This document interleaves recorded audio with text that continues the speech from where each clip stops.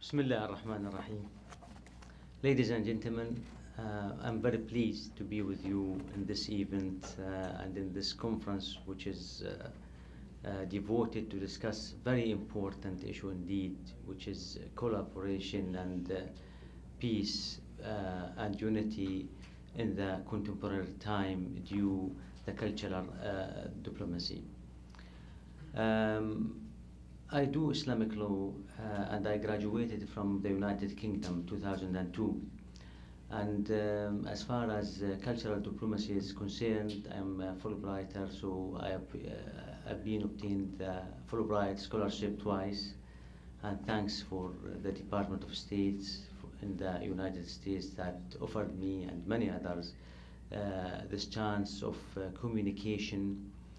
And in each time I uh, share my brothers and sisters of the human community from the different backgrounds and experience of meeting, I learn a lot from them and I uh, see how much we are close to each other and uh, how, how much we have uh, many shared things more uh, than uh, any other negative things. So uh, cooperation and unity and peace are the reasons for development that we should all seek uh, firmly uh, in all over the world. Uh, history proved that uh, war caused bloodshed and disorder. Uh, unity and exchange cause more development, more development and peaceful living with diversity for everyone in the different communities. So uh, that's why I'm here and I'm very glad to be with you. Um, I will talk to you about a very important issue indeed, in my view at least, which is uh, Amman message. Uh, this message is declared by, by His Majesty King uh, Abdullah II of Jordan in 2002 uh, as a reflection of 9/11 uh, and uh, terrorism and the negative maybe attitude that is given by some radical people who misunderstood Islam or abused the understanding of Islam. And uh, then after that they harmed many people in the world without distinguishing between people so they are just like behaving in an enemy behavior against everyone so um, as a reflection of that uh, king abdullah ii make this initiative to clarify the concept of islam as a peaceful religion and a way of community with others um, through collaboration, uh, peace, and uh, deep love.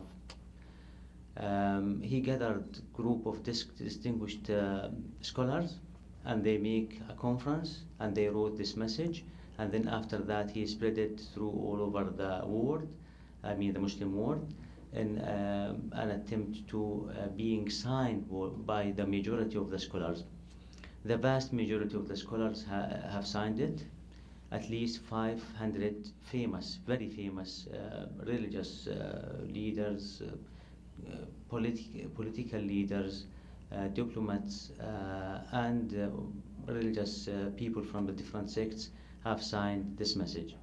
So uh, the importance of this message is that it's like a consensus between Muslims about the Islamic concepts about Islam, the relationship with others, um, the issue of uh, peace and war, uh, the stand view uh, of uh, terrorism, uh, and how to cooperate with the international community in the world. His Majesty the King Abdullah II has uh, more than one initiative in this concern. Amman message nowadays is uh, a cultural uh, diplomacy because it's actually spread in all over the world in many means and it's a floor for discussion as well. So it opens the floor for discussion about the peaceful uh, interpretation of Islam that has a consensus by all of these uh, scholars that come from the eight different sects of Islam. Uh, just uh, to give you a brief about Amman message, not to take your time at the end of the day, and thank you for uh, uh, joining me. The Amman message started by uh, justifying the message itself by saying that Muslims are uh, a nation of 1.2 billion people at least, and they are spreading all over the world. They share the human uh, community, uh, the, the, the, the present and the future. So they should be effective and they should be positive. They should not be rejected and they should not be uh, negative. So uh, for these reasons and in reflection to the terrorist attacks and behaviors, uh, we have adopted this message. Uh, the real Islam is uh, peace because the word Islam means peace and it means to make uh, submission to God the Almighty and to discipline the inside of the man by the rituals and also it aims to make civilization and to spread it for all mankind without being uh, just uh, monopolized by a certain group of people. This uh, faith and religion is based on uh, justice, uh, achieving security, giving the rights of people, respecting the other religions as well. Uh, tolerance between religion is very crucial. So all the religions share the same principles, the main principles. So the essence of the religions are the same. Islam is completion for Judaism and Christianity in terms of the message of God and revelation, according to our belief. We do believe with uh, the uh, originality of uh, those uh, two uh, religions. Uh, so we can't deny the prophets of these uh, religions. Uh, otherwise, uh, that's against the principles of Islam. Uh, also, we believe that religions in general are to serve the human community and to protect the dignity of mankind. So, the preaching to religion in general should be by good word and by debate, not by force, not by violence, not by any negative approach at all any negative approach is, is totally refused, whether, whether it's from the Islamic religion or uh, any other uh, religion. Um, message clarifies the objective of uh, the message of Islam and it says that God Almighty in the Holy Quran, which is the main book for uh, Islam, says that I have sent you, Prophet Muhammad, only to be mercy for all mankind. So mercy for all mankind is the essence of Islam, and that's why uh, this message has been sent. That means uh, tolerance, justice, and forgiveness should be the basic uh, behavior and uh, foundation for the people who uh, believe in this message and uh, religion. that requires all, also to respect the international conventions and law and uh, to follow the UN uh, um, uh, decisions and international uh, agreements and respect the, the international community's uh, uh, outcomes to be part of the human community in their decisions and also to share with the protection of the life of people and to protect the civilians and to avoid any means of corruption, uh, being against corruption in everything, including the things that uh, tackles security. Uh, the foundation of Islam, according to the text of Islam, are related to balance, moderation, uh, justice, uh, and uh, mercy. Therefore, easing things for, for people is very important. And also uh, the civilized role of Islam should be uh, revised again in the contemporary world. So uh, there is a call for the Muslim thinkers uh, to share the experience with the others in the world and to learn from them and to expand their knowledge and to make contemporary cooperation with the others uh, in the different fields of uh, study, including the, the, intellectual issues to make economic, political, and social growth for everyone in the world. Uh, ethics is, is, is very important. So it's the core of Islam. Every single rule in Islam um, is peace by itself and leads to an ethical issue. Therefore, the means doesn't uh, justify the aim. And uh, from here, my message comes to the issue of peace, and uh, it declares terrorism to be totally rejected, any intolerant behavior totally rejected, and it, it condemns everything that has happened from some radical people who have abused the interpretation of the text or cut the text out of the context and then after that they justify their crimes to themselves by religious background and it says that um, there is no way uh, with Islam to have any sort of uh, in, uh, unjust uh, uh, terrorism and uh, behavior that, that is based on violence. So again, it, it, says that we should go back and respect the international com community and uh, the international law and uh, give the rights to, to, everyone and to uh, avoid any sort of offense uh, for any person in the world. Um, my message emphasizes again and again that the Muslim world should uh, be part of the human community and it should renew uh, the thinking to do so. Therefore, they should uh, revise their way of education and uh, uh, the academic research. They should benefit more from the technology uh, and communication, make more cultural exchange with all the people in the world to make a more civilized project which is suitable for them and for the human community uh, in general. There is a specific care about the human rights in the message. So there is a standpoint for that, and it says that uh, we should protect the life of the man, the dignity, the security, the basic elements for the individuals and communities, and we should uh, administrate the societies according to justice and consultation. So the meanings and essence of democracy should be emphasized and should be the background for the communities in the world and in our world in specific. Um, we should also learn from the human uh, brothers their communities their ways and uh, means for materializing and achieving democracy practically in the contemporary time. Uh, at the end, there is a, a, speech which is directed to the scholars, the Muslim scholars, that they should uh, be models for the others by tolerance, by moderation, by calling to the good and not to the evilness at all, by clarifying the essence of Islam to the people so that the Muslim community be more tolerant and more and um, teaching people to deal with things by wisdom and moderation, not by violence and revenge or hatred.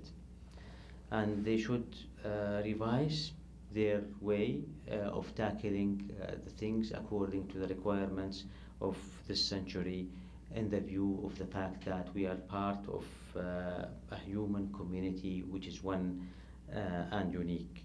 So it ends with unity and it calls um, not to diverse, not to uh, split with, with, with the others and with, not to, to challenge also uh, as one community inside the Muslim world as well. Um, I hope um, this illustration uh, is clear to you and uh, beneficial as well. And um, I can conclude out of that um, that uh, the message of Amman is cultural diplomacy and it clarifies the consensus of the Muslims, which is that our religion and our culture is based on peace and those minority of terrorists don't represent the majority And uh, we are part of the human community and we are willing to learn more and to cooperate more and to provide more as well. Thank you very much indeed.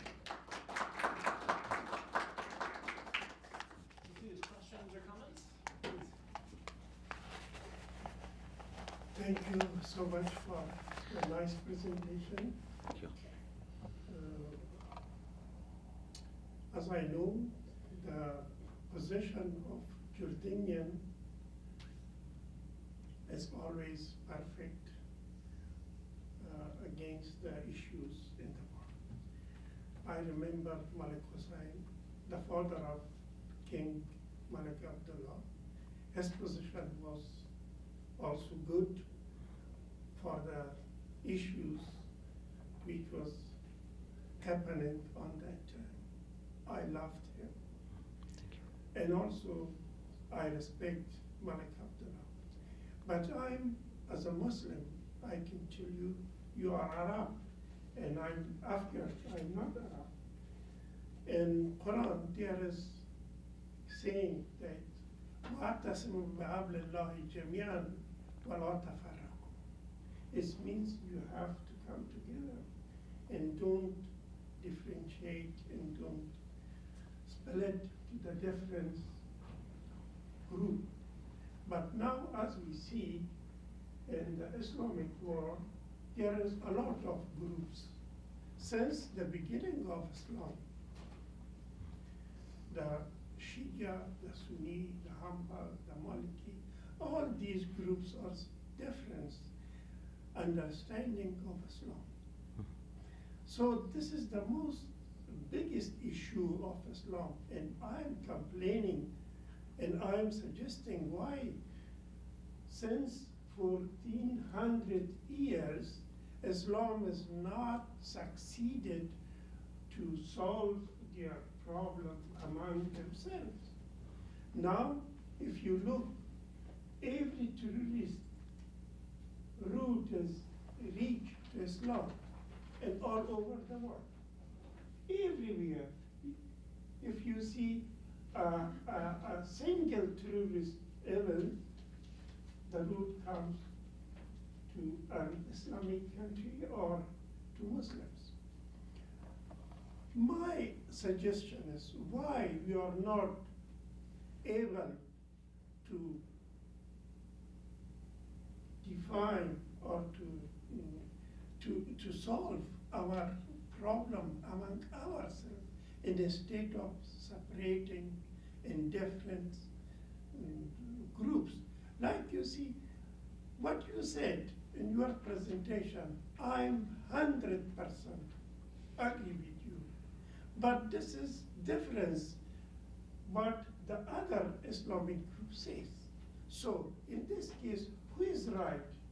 You are right, or those who are killing people, was who are sacrificing the children, the people, who was who are selling the women, who keep slaves, who keeps women as a knees.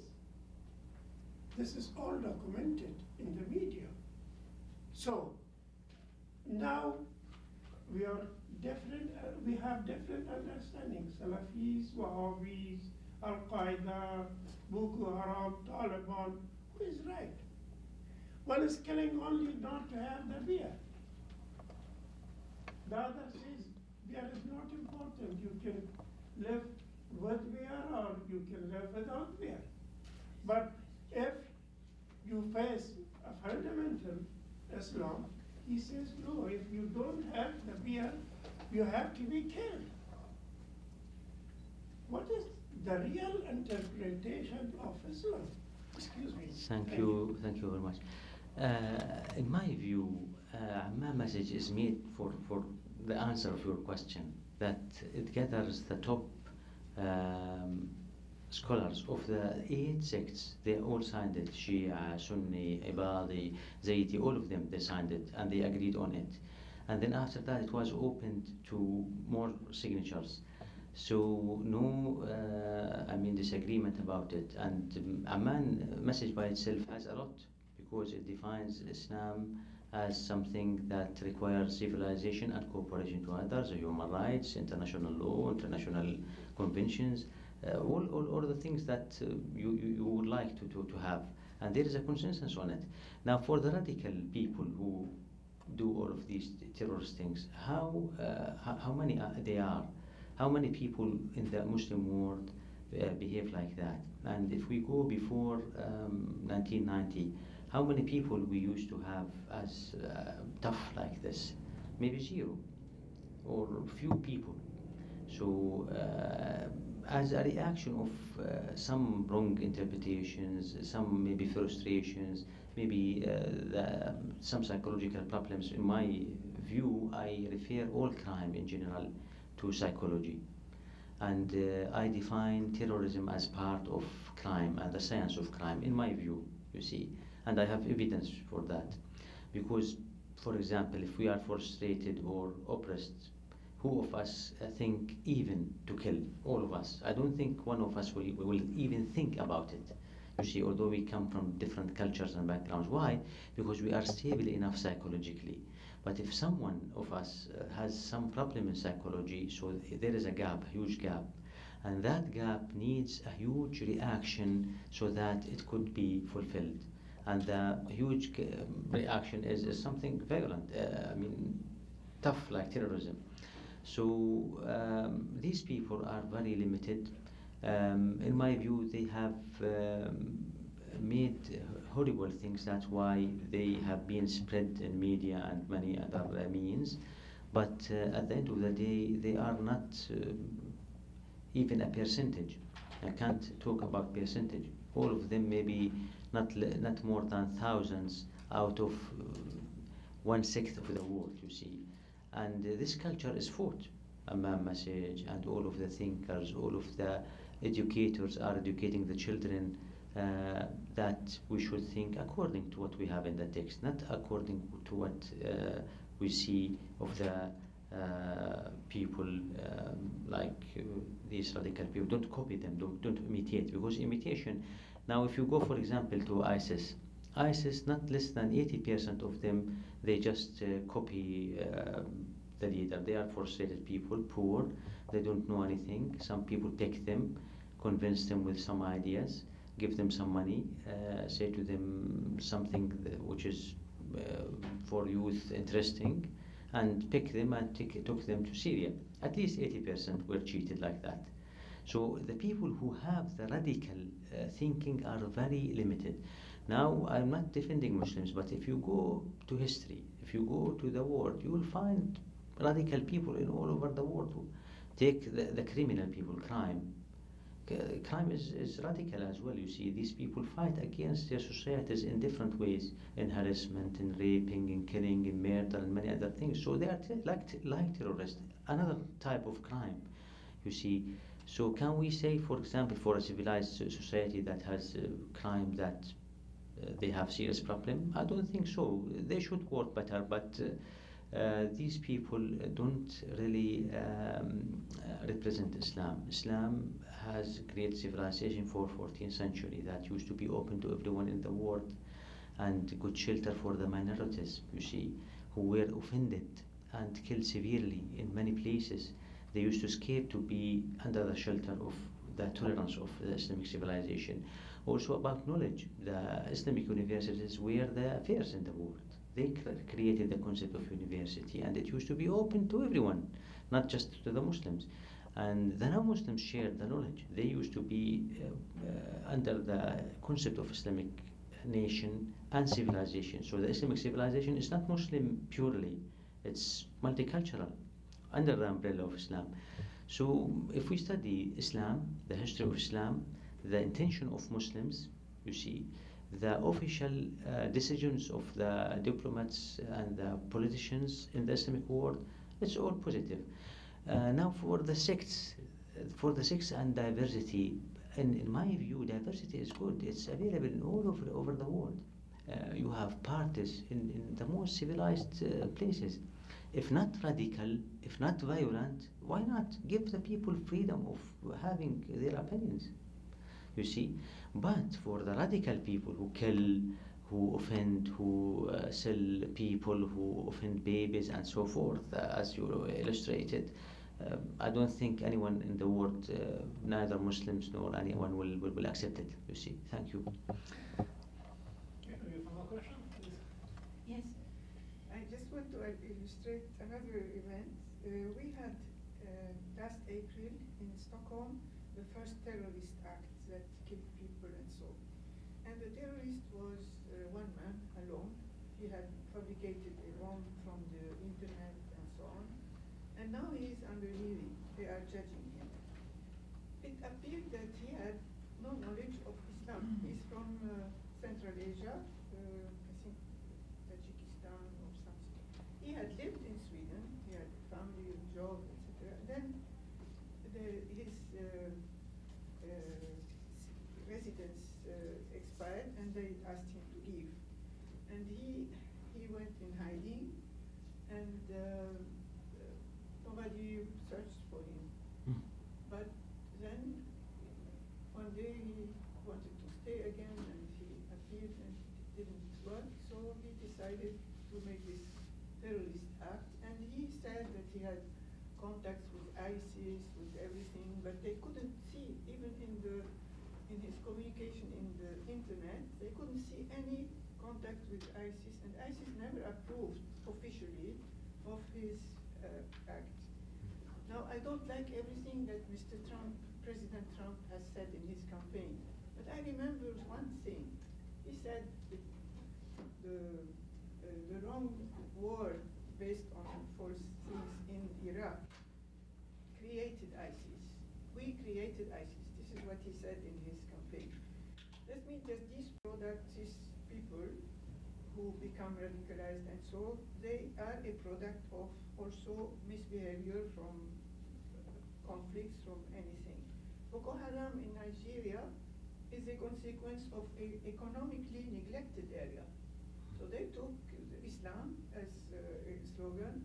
ISIS took Islam to maybe regain some for the Sunnis in, in Iraq. They were very oppressed uh, in the fact that they were completely dismantled from every function in the state. And maybe it was a, a way. They, they re- record with, I don't want to excuse their activities, not at mm. all, but I want to say that we also have a, a, a, a guilt in this. We mm. create the monsters sometimes in some historic places. But Mr. Akilov, the, the terrorist in Stockholm, he invented everything. And one professor of Islamic studies said, after questioning him and so on, he had no knowledge of Islam whatsoever. And yet, all his, his act was through it, through Islamic motion. So in one sense, you are right, how they use it, how they abuse it. But we in, in other countries, we have to be very conscious and uh, maybe think twice of our contribution to the creation of these radicals. Thank you. Uh, actually, about uh, the radicals, you are right. Most of them, they are not educated. None of the radicals uh, went to the faculty of Sharia or studied Islamic studies, you see. Um, most of them, uh, excuse me to mention, just these are statistics and research, uh, like engineers or something like that. I'm not indicating certain people, but uh, they are good thinker, but uh, uh, they are not related to religion. Then after that, they start read religion alone without any master of religion or I mean, uh, a, a, scholar who's uh, uh, who's allowed to teach religion. You see, so the faculties of Sharia teach moderation in history. Yes, many of the rules that they teach are not suitable for others, for many others in the world but still they teach moderation and ethics and uh, they don't teach any violence at all. That's why some, some uh, research um, believe that spreading the faculties of Sharia teach Muslims more moderation and keep the security, which is positive. Um, canceling them because there is another approach that we should fight against the study of Islam. If, if we fight against the study of Islam, there will be like black market for the study of Islam. Anyone read five, six, seven books, and then after that declare himself to be scholar, and then make groups and spread his own interpretation. But the academic way of teaching and studying Islam is peaceful for all of us. You see the point?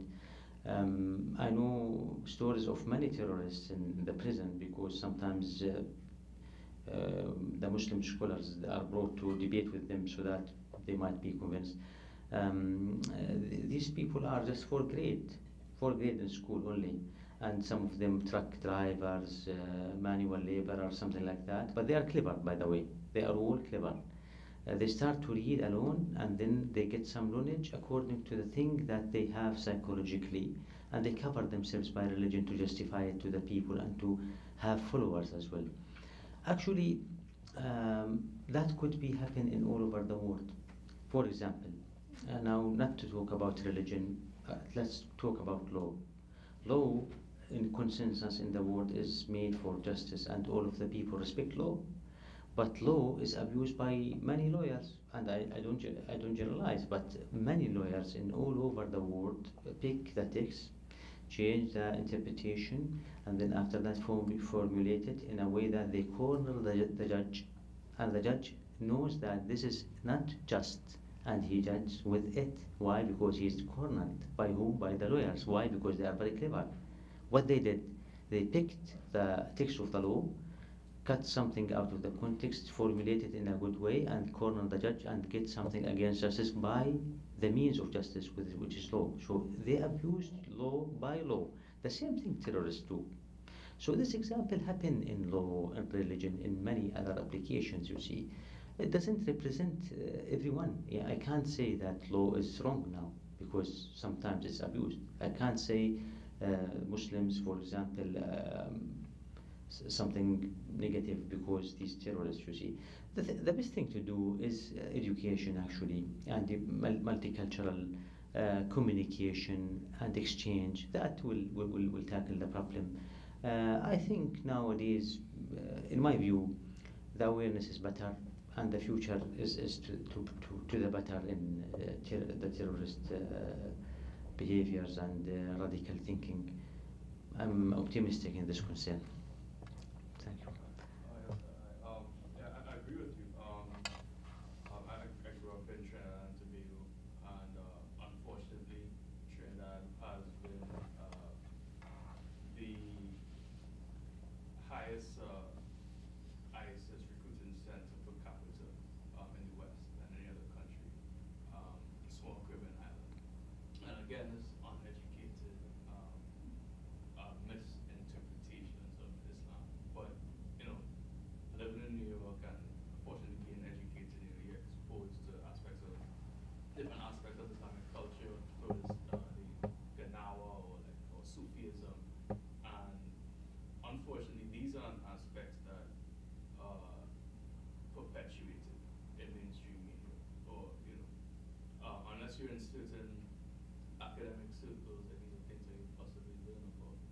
Um, you know, what strategies do you think could be implemented, you know, for people to have a different, uh, a more uh, wider understanding of Islam, uh, whether it's literature, uh, music, uh, uh, how Islam is expressed in Morocco, Algeria, and other, you know, for, for example. Uh, actually, um, media may be um, a bit um, uh, not so positive to Islam because, uh, for example, when I mentioned that Islam had uh, 14th century civilization, all the people surprised. Uh, has that happened? Uh, when I say, for example, um, that uh, the Islamic civilization used to be shelter for everyone and the human rights uh, declared before 14 centuries by Islam. Uh, many people find it very strange, you see. So media don't help so much in this concern. I don't know why, really. Um, also, Muslim media is very backward. Uh, you know that Muslim world is um, developing and very um, backward comparing to the first world and the developed countries. And our media is, if you see it, you will surprise. It's very weak, you see. So they can't even represent uh, Islam. That's why, for example, Amman message was an attempt to uh, declare the essence of Islam by debate, by debate, and it's in the Quran as, as well that um, the best way to preach to the people and to tell about the essence of uh, the revelation of your Lord is to debate with people, not to force them, just to tell them, and debate with them and have a dialogue, di- dialogue about uh, the, the issue. You see. Um, but um, there is a problem really because Muslims in the world, to be honest with you and open, feel offended and feel that it's unfair treatment. You see, uh, they feel that um, they have not been given uh, the chance to express themselves, to um, to be known. Um, uh, there is lack of study of their uh, culture and history. Uh, almost no one knows about uh, their civilization, the, the, and um, the fact that this civilization that we live now is based on the Muslim civilization because Muslims ruled Spain, uh, the southern Spain, for uh, 800 years. Uh, pardon? And uh, maths, the, ze- the zero was created by Muslims, and you know the computer system now is 0101, everything. So the basic element of all of the civilization that we have refers to the zero, which is created by Muslims before in history, and many, many things. The trial and error uh, method of research was experienced uh, by Muslims at the beginning. And I told you that it was not the Muslims only. Jews, for example, and Christians used to be a very basic element in the Islamic civilization. Jews should be sharing under the umbrella of the Islamic civilization. So why all of these things are not known? Um, we wish that there are means to explore uh, our um, and display our culture and uh, civilization and also Islam it's, itself to be illustrated to people. But uh, I don't know why media don't help in this concern. Uh, when I watch media, I find it illustrate all over the world and the, cultures and the history, even for strange things like myth, like uh, magic, like um, all things. But when it comes to the Islamic civilization, although Muslims are one sixth of, of the world, you see, and uh, they cooperate with the others in all over the world. You have 15 million at least in the Western Europe, uh, at least the same number in the United States. Uh, they have many um, contributions, but um, their culture, civilization, and history uh, is not known at all. But anyways, um, it will be better in the future, inshallah. Thank you very much indeed. Okay. Thank you again very much. Bye-bye.